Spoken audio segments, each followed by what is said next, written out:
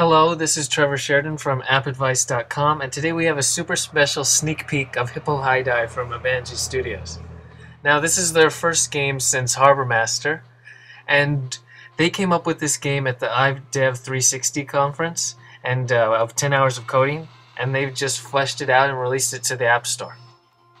From playing this game, I have to say I absolutely love it.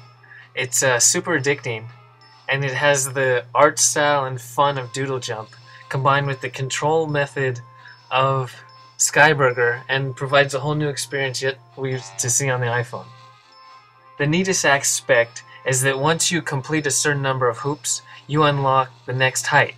So you're always increasing height rather than constantly jumping as high as you can. There's a completion to each part, but it's always increasing in difficulty. This game is definitely one worth looking forward to, and we'll have a full review when it enters the App Store. This is Trevor Sheridan wishing you continued fun on the iPhone.